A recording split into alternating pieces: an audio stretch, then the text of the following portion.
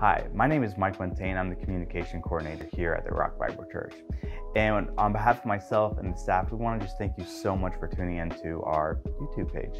If you live here in the area, we would love for you to come and stop by and hang out with us on a Sunday morning. Our service times are 8:30, 10 o'clock, and 11:30. Now, if you haven't liked and subscribed our page yet, go ahead and hit that like button, and that way you can get a notification anytime we drop a video. Now I'm going to go ahead and let the sermon start, and I hope it has blessings upon your life and God just really speaks to you through the message. You guys have a wonderful day, and I hope to see you around. We are quickly coming to a close. Our church goes verse by verse through a book of the Bible, and we are quickly coming to a close in the study of Second Thessalonians. There are only 18 verses left, so by my calculation, 18 verses means we should probably finish this book in about six to eight months. Uh, and so uh, I kid, there's only a few uh, sermons left. And uh, remember, Paul has, there are three themes in this book. We've already covered two of them, and we were about to cover uh, laziness, idleness inside the church. And, and, and, before Paul dives into this last theme, he takes a small detour uh, and uh, uh, addresses um, a concern, um, uh, an issue, uh, something that I believe hits home for pastors, hits home for Christians, uh, because Paul takes a, a, a detour to plead with the church for their support though Paul founded this church, though Paul has a calling, he's been anointed from the Lord, Paul knows he is not alone. Paul knows he needs community. Paul knows that the church needs him, but also he needs the church. And I would agree with this. I, I, I feel this that we all need each other. See, community hinges upon each and every one of us showing up for one another, uh, finding the balance in how we grow together. Because regardless of how wonderful you think you are, wonderful, regardless of how strong you think you may be, you need people. And people need you. And I think we go through, I think for some of us, we go, and maybe all of us, we go through seasons of like utopia community. You know, when you think of a utopia, everything's perfect and, and, and, you're laying on a couch and, and someone's feeding you grapes while the other person's fanning you with a leaf. And, and you know, and, and I think we go through seasons of, uh, uh of utopia inside a community to where we look around and we say, this community needs to serve me. And I don't need to put any work into it. And I think there are seasons that us, we go through to where we kind of get fallen into that trap of just going, okay, this people, this community, you need to meet all of my needs, but I don't need to do any work to meet anyone else's. This is a utopia for me and me alone. And it's, it's difficult. It's it's hard because because there are seasons in our lives where we're spent. Right? Each and every one of us has seasons in our lives to where we just can't give anything else. Seasons in our lives to where we're emotionally, mentally, physically just done. We can't give anything. But then there's other seasons in our lives to where we are riding on the mountaintop to where emotionally everything's great. All of our relationships great. We're physically great. We're spiritually great. And we're sitting on the mountaintops and we're looking and going, life is great right now.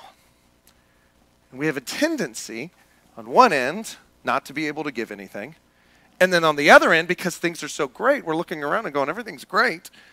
Let's just soak in this goodness instead of looking around going, okay, who's in the valley that I can help get to this mountaintop?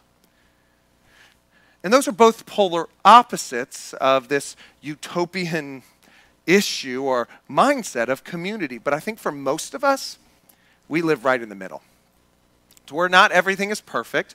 We could, we could use some encouragement, and, and, and not everything is bad, and so we could give some encouragement. But I think most of us live right in the middle to where we, we don't do either because we're just busy. We're just trying to survive the day. And that's where I believe community suffers. Because most of us don't think about, when we're busy, serving one another. Most of us in the midst of busy just think about survival. And if we live in just a survival mode, a, a, a an accomplish our daily task and our daily task uh, only, then we don't help or encourage others or then be encouraged. And then all of us across the board, we all lose because we're all too busy. Maybe this sounds like your life. You go to work. And as soon as you get off of work, you got to go to sports practice to watch your kid not be very good at that sport. Um, you then have to then uh, get home, and now it's homework, and they got to study, and you're sitting here going, I don't know how to do fifth grade math, but I'm going to fake it through till I make it and walk to the bathroom and ask Siri how to do ma- math problems, right? Then, then you're trying to make dinner. And after you make dinner, you have to get your kids in bed and you have to get them to brush their teeth. And for us, with four girls at home, we just want them to brush their hair. Like, your teeth can fall out, just brush your hair. Like, you know, like, and then at that point in time, everyone's finally in bed and you can carve out 20 minutes to watch your favorite TV show just to fall asleep on the couch and start the day all over again. I, I, believe the Bible means for us to experience more than just that. To actually have true community, not just be busy all the time. And community takes genuine effort from all people to actually put in the work. And when you actually put in the work and you get involved in other people's lives, you experience and you reap a massive reward. When people start to see your flaws, when you start to see their flaws and you love them through it, I read this quote and love this quote community is when you learn, I'm not everything you thought I was. And I learn, you're not everything I thought you were. And of course, we all can't be in deep community with everyone you, you can't be in deep community, deep relationship with everyone in this room. But, church, you need to hear me. Though you can't be in deep community with everyone, you do need to be in deep community with someone. That everyone in this church should be in deep relationship, deep community, learning their yuck and loving them through that. And then on top of that, each and every one of us, though we can't be in deep relationship with everyone, and I can't be in deep relationship with all of y'all, from time to time, I can, as Scripture says, spur you on to love and good works as we look to the day that Jesus returns. Hebrews chapter 10.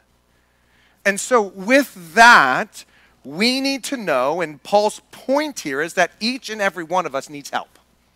That I need your help. You need my help. We need each other's help. We need to be in community. And so, with that in mind, we're going to look at just five verses today. First, uh, Second uh, Thessalonians chapter three, starting in verse one. We're going to look at verses one and two for this moment. it says this. Finally, Pray for us, brothers and sisters, that the Lord's message may spread quickly and be honored as, uh, as in fact it was among you, and that we may be delivered from perverse and evil people, for not all have faith. Pause real quick. Um, I think these are interesting. So, Paul, as you know, in this thing, he planted this church and then was ran out of town for fear of his life. He left, and now he's in Corinth. Um, it's kind of interesting to think, though, uh, that these letters were written as he's in Corinth and he's establishing and preaching the gospel in Corinth right now, that then we would know years later he would write 1st and 2nd Corinthians to. So it's kind of neat to see God moving, and he's begging for this church to help him plant this church that we get to read all four letters to both churches, and we get to grow from it. And, and I find it interesting in here because as he's at this massive city, he could have asked for anything. He could ask for more volunteers. He could ask more, for more preachers. He's like, I'm at this massive city. I need more workers. I need more volunteers. I need people to help me advance the gospel. Uh, he could have asked for a private jet. He could have. Some preachers do. Uh, and I mean, he could have sat here and goes like, "Hey, listen, there's this city called Rome that I need to go preach the gospel to. Not to mention, I'm hearing about this this place called China that I probably should go to, and Africa, and all of these other things. I need a jet so that I can advance the gospel further." But he didn't do that. He didn't ask for more volunteers. He didn't ask for private jets. He asked for the church to pray. He called, he begged for the church to pray. First thing I uh, want you to get today is there is power and importance in prayer, church. See that when a community begins to pray, when a gathering of believers cry out to the Lord, our God does supernatural things. Not just a gathering of believers, man, when just a saint, when a believer cries out to the Lord. The cool thing about it, the, the amazing thing about it is God hears the prayers of an even one saint. Church, there is importance, there is power behind our prayers. Paul already encouraged this church in 1 Thessalonians 5 to pray without ceasing. See, we need to see the importance and power comes from an understanding that every aspect, every step, Every moment of your life needs to be dependent upon God. Much like Paul asked this church, I now ask of you. Church, I need your prayers. I need your prayers. I need you to be praying daily for your pastor, praying for me that, that God would remind me, that God would, would keep me dependent upon Him. As we grow this faith community, as we reach the community of Clay County, I would ask, would you be praying that God would keep me holy? in my relationships at home. Keep me holy in my financial life. Keep me holy when I drive down Blanding Boulevard. Would you just, would you pray and pray that God would keep me dependent upon Him and also give me the boldness to proclaim the gospel. This Greek phrasing for pray for us means literally make it a common pattern. Church, would you make it a common pattern to be constantly thinking and praying for me? Praying for me to be dependent on the Lord and praying for me to be bold in proclaiming the, the, the faith? Because here's what I truly believe. If you, actively made it common to be praying for me to be dependent on the Lord, and you're constantly thinking about being dependent upon the Lord, you will then start being dependent upon the Lord. As you are praying for me to be bold in my faith, you will be thinking about being bold in the faith, and then you will be bold in the faith. See, when we pray for one another, as I pray for you and as you pray for me, all of us grow. All of us are built up in the gospel.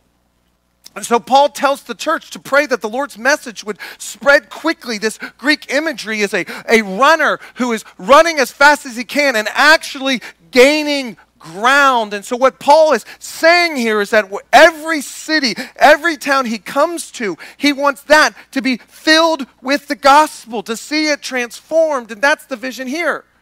We want to preach the whole gospel through the whole church to make whole people, to impact our whole community and reach our whole world. We don't want to reach just some of this. The 400 people that come to here on a Sunday morning isn't just who we want to reach. We want to reach every aspect of Clay County, every person of Clay County. And so Paul encourages the church to pray because he knows obstacles are going to try to get in his way. He says in this passage uh, that they may be delivered from perverse and evil people. One commentary said this in the Greek about this word perverse. It literally means people who are out of place. It denotes what is be- unbecoming or inappropriate. It means people who are improper wrongfully out of place or unrighteous. The writer goes on to describe these people as morally insane.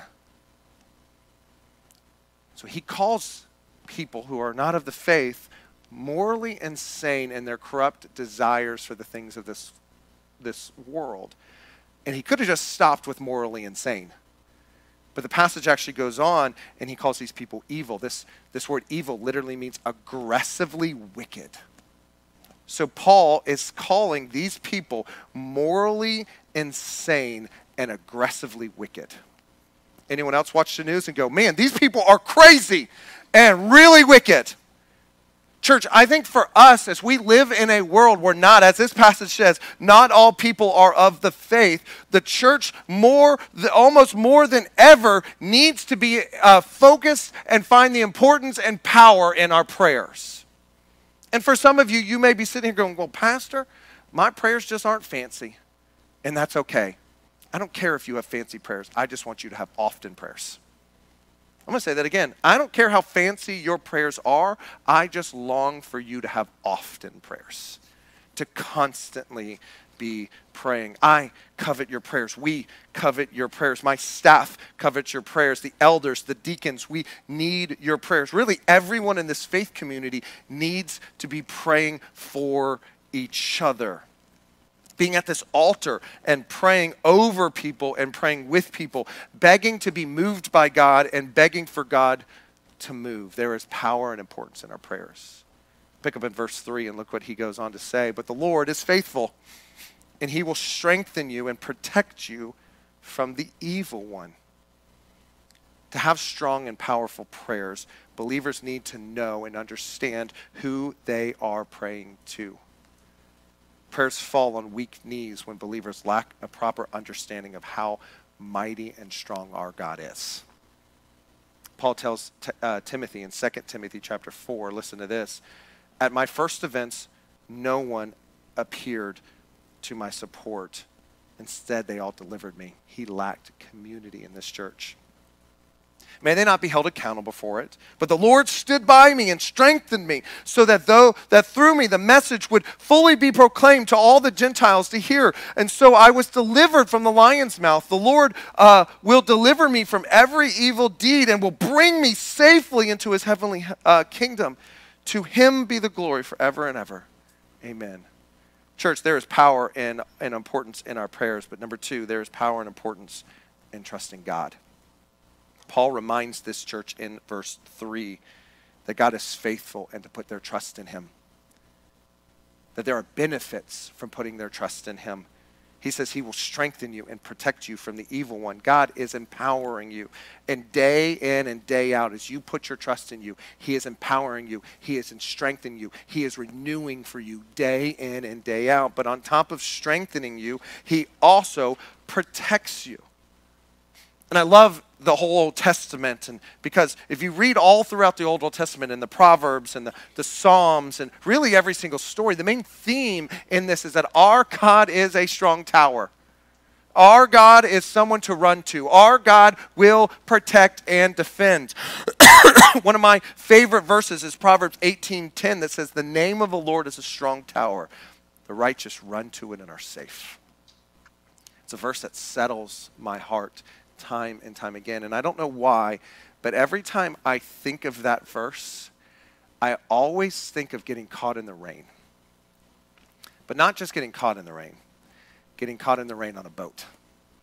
Anyone else ever been caught in the rain on a boat or on a jet ski? And, and, and, like when, when, when you're not caught on the rain on a boat, like, and it's just raining, and you're just like, oh, this is magical. We can dance in the rain. This is wonderful.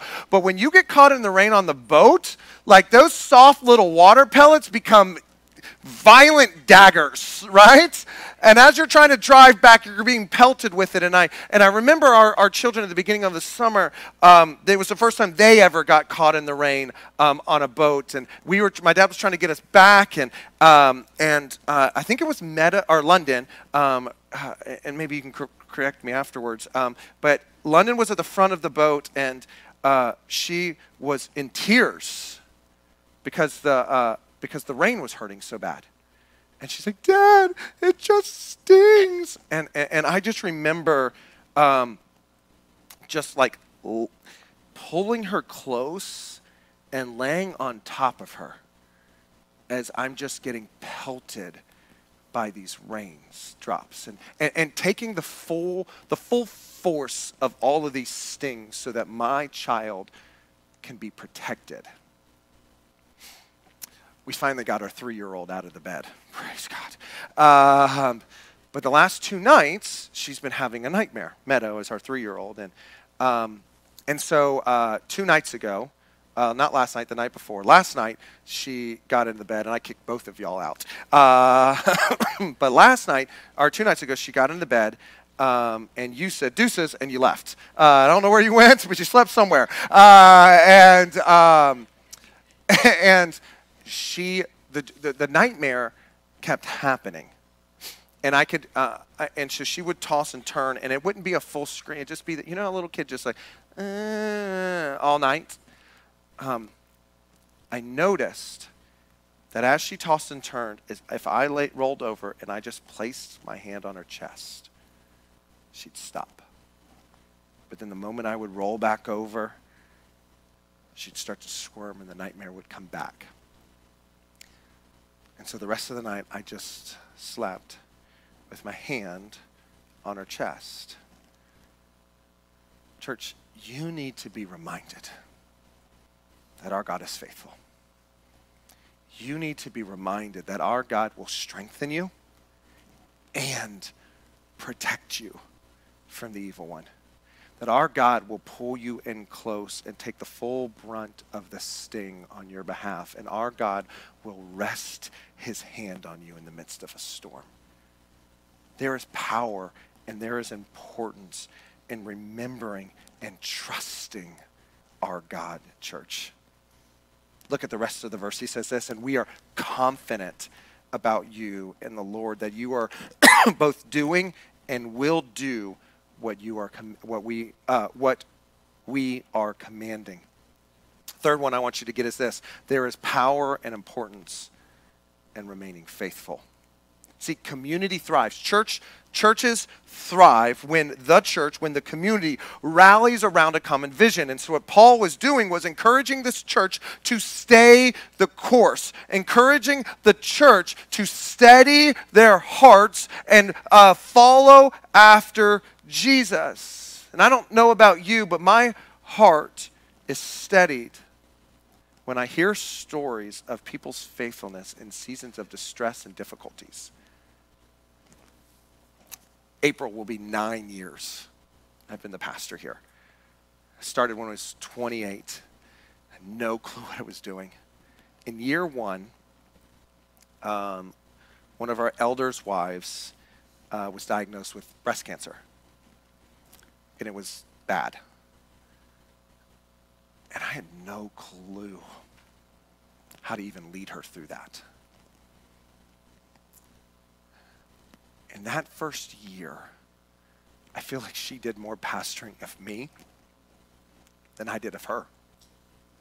To watch her come week after week, having probably just thrown up that morning, and still coming as her hair fell out and her body became frail as it fought a disease.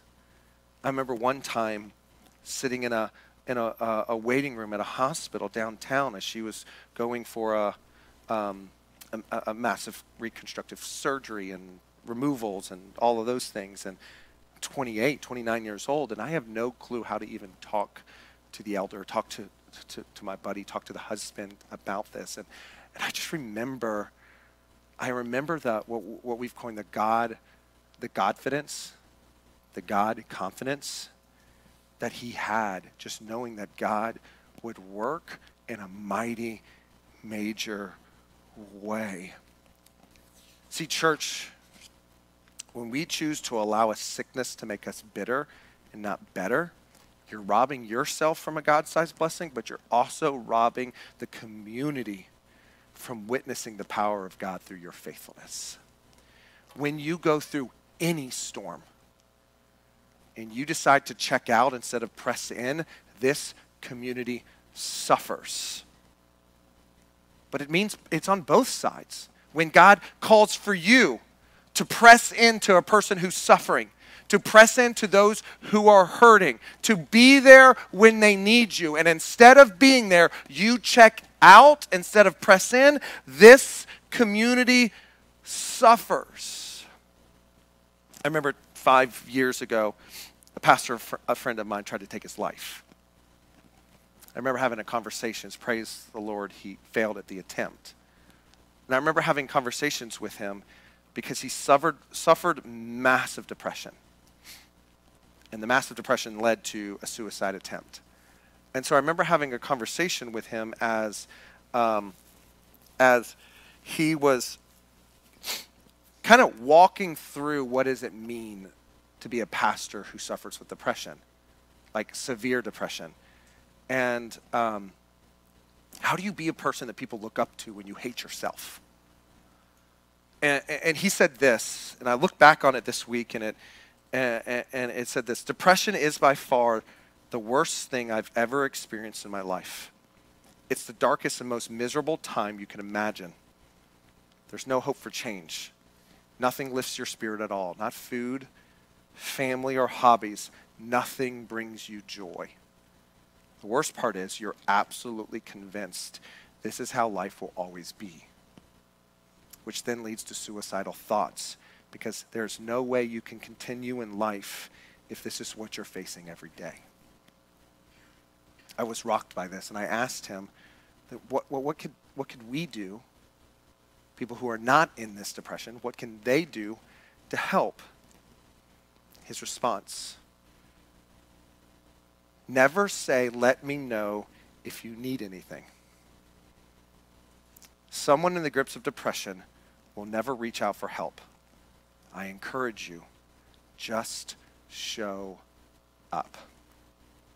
I can't say this enough. Over three years, I battled deep depression and suicidal thoughts, and I probably had a hundred plus people say to me, just let me know if you need anything.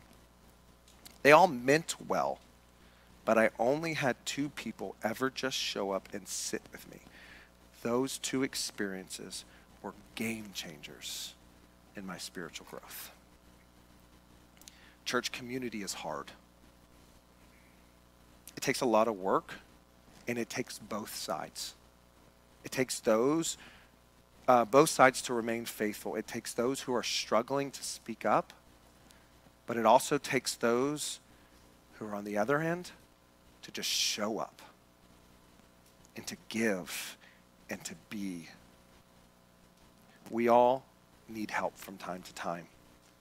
And we all need to be looking for someone to pour into and push into time after time. Our job is to be more like Christ. As I begin to close, I want to read a quote from C.S. Lewis. He says this He, being Jesus, works in all sorts of ways, but above all, he works through each other. Men are mirrors or carriers of Christ to other men. Usually it is those who know him that bring him to others. This is why the church, the whole body, you and I, the whole body of Christianity, showing uh, him to one another is so important. It's easy to think that the church has a lot of different objects education and buildings and missions and holding services. The church exists for no other purpose but to draw men and women unto Christ, to make them little Christ.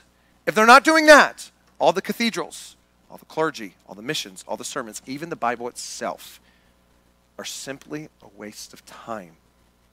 God became man for no other purpose but to draw people unto himself. It is even doubtful, you know, whether the whole universe was created for any other purpose than to draw people unto Christ. Our job, church, is to draw people to Christ. Our job is to help other people uh, be drawn to Christ. To have deep, rich community is vital for long term growth. Uh, my biggest prayer in the month of November, I take my, my sabbatical. I get, a, I get a sabbatical every seven years. In the eighth year, I get a sabbatical. And so I'm taking it in November. We'll, the elders will talk more about that uh, in weeks to come.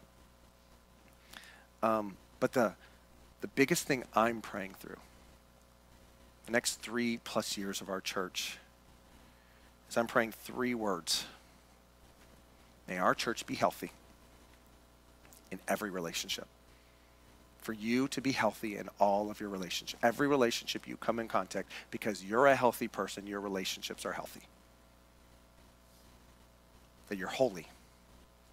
That because you're a healthy person in Christ, you then have a desire to be righteous because our God is righteous, to be holy because our God is holy, and to be high impact. That we be a church that impacts not just a small portion, but all of Clay County because our people are healthy, our people are holy, and our people live and pursue Christ. This is the prayer that I pray because I believe if we are healthy, we are holy, we are high impact, we meet our vision where the whole church becomes whole people. As I conclude with the last verse, Paul says this Now may the Lord direct your hearts towards the love of God the endurance of Christ. Point number four there is power and importance in spiritual growth. See, Paul concludes this little community detour uh, with this word, pushing and pressing them into spiritual growth. He uses this word direct. Now may the Lord direct your hearts. That Greek word is uh, katanathos. I butchered it, but that's okay. You didn't know that. Uh, um, the, the, the, the, that Greek word literally means to remove all obstacles, to not be hindered, to make straight a path. Paul is saying here, now may the Lord remove all obstacles in your hearts so that you can get to the love of God. Paul says here, may the Lord not hinder you or your hearts towards the love of God. May the, may the Lord make straight all your paths to get to the love of our God. I got fired from a church in Atlanta. Oh, our pastor got fired? Yeah, I did. Uh, um, our pastor was stealing money, and I said, "Hey, you probably shouldn't steal money. That's not a that's not a good thing to do." And I got fired. Crazy, I know. Uh, true story. Uh, and we were young. I was 24. You were 22, I think it was. Um, and our pastor, he was he was a biker guy. He he's he was like six seven. He was 300 something pounds. He was rough around the edges, and um, and I was again 24, and I stood up and I said, "Hey, listen, you can't you can't steal money." Um, and then we get fired, and we get harassed. I'm getting calls at two o'clock in the morning for the pastor's wife cursing me out and hanging up. We're afraid of going to the grocery store because we may run into them. And he's huge. He had hands. just, just, was you know, and it just, and it just, and it got to a place and it got to a point um, where my dad just showed up. Just got a U-Haul. Said my kid's coming home. Drove from Jacksonville to Atlanta and said, You're coming home. We packed it up, and the, the night we left, I got my life verse tattooed on my arm Philippians 1 6. God is the one who began this good work, and I am certain that He will, be, will carry it on to completion to the day in which Jesus returns. See, church, no obstacle should hinder us from growing in Christ. Because in the middle of a valley, in the difficulty and the hard time, remember our God is the God who began this good work.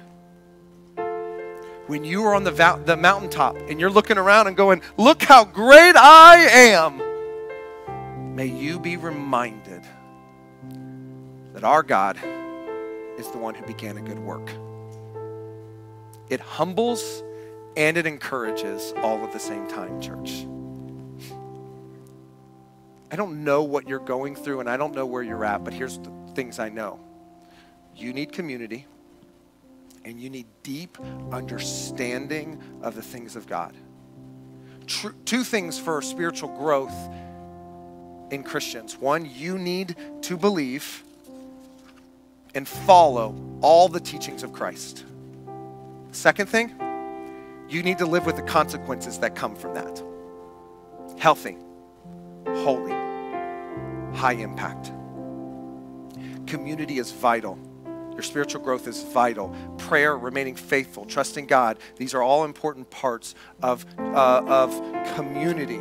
And these are all important parts of surviving this crazy world. Because it's kind of hard out there. And so, as we conclude, and my time is up, this altar will be open, and I don't know what you need. If you need to pray and you need to believe and have God restore something in your hearts. Or, actually, no or. This is what I'm going to call for us to do. As you're praying, as you're worshiping, I want everyone in this room to find someone that you can shake their hands today. Give them a fist bump. Say, hey, my name is so and so. You are what? Because we got to foster community.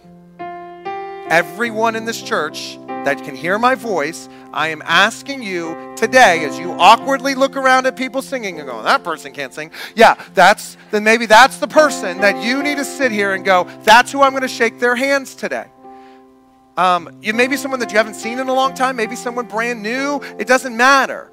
Everyone is responsible. And if you leave today and you walk away and go, Well, this church isn't friendly, no one shook my hand. No, nope, you were supposed to shake someone's hand. We're not friendly, you're not friendly. Uh, and, the, and so everyone has a responsibility. And if everyone looks around to shaking somebody's hand today and you go to shake someone's hand today or say hello or ask them the name, then everyone should get their name asked or everyone should shake someone's hand. And we should be in deep community. And here's why, and I do not have the time to say share this story.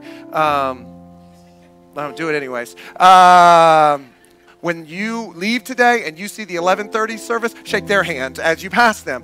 Um, I told this in the first service because um, uh, Chris was in the back, exactly where he was, and I made an off color joke that all of you matter and every one of you matters because all of you are in a seat and every seat is a person and every person matters to jesus except for chris he's not in a seat right now and i said chris you matter and so then chris awkwardly tried to sit down on the floor which things you don't know about Chris is like you think Tyler and Courtney are hippie. Uh, I believe it's a boy. Uh, and like, they are. And um, it was six, five, six years ago. Um, we didn't know this. Uh, we look back on it now. I hired Chris to play drums for us. Um, just one random Sunday, we, we called a company and said, We need a drummer. And they sent Chris and he didn't he wasn't married to Natalie yet and all of those different things and the church was flipped. We weren't even remodeled. For some of you, you remember this. Like, I preached over there. None of this existed. Uh, and there were pews, and it was full. And that hipster uh, looked around after he got done playing, and um, I'm there looking this way, and he's probably right about here. Um, and instead of asking some to scoot over, he just awkwardly got into uh, Indian style and sat in the middle of the floor. And I'm looking down the aisle preaching, and I'm watching this crazy hipster dude sit on the floor, and I'm like, what is this weirdo doing? As I'm preaching, is he sitting on the floor? And, uh, and, and so the day ended, and I'm like, that guy was nuts, and he left his Bible, and so we had to come get it the next day. And so we ended up talking for like an hour as he picked up his Bible. And I remember programming him into my phone, uh, Chris Drummer, possible church planner. Like that's how I programmed. I didn't even know his last name at the time. Uh, two plus years, three years go by, and I'm going through my phone, going, "Well, I gotta, I gotta delete some of these names." So I deleted his number. I was like, I'm never going to talk to this guy again. I'm going to delete his number. Um, and then two weeks later, I think it was, maybe three weeks later, I get his resume to apply for a job here. It's like I just deleted this guy's number and now I'm going to hire this guy. Why do I say all of that? If you were to tell me six, seven years ago, the crazy hipster dude that sat in the middle of my floor while I was preaching would one day be a massive influence in my spiritual life to push me closer to Jesus on a regular basis, I would have looked at you and said, You're nuts. And so, church, you may hear your pastor go, I'm going to shake someone's hand today. You have no clue, because I had no clue, that that handshake now, seven years from now, may blossom such deep, rich community because we have nothing in common except for Jesus at all. And but there is such deep, rich community in the sheer fact that both of us love the Lord and both of us love the church.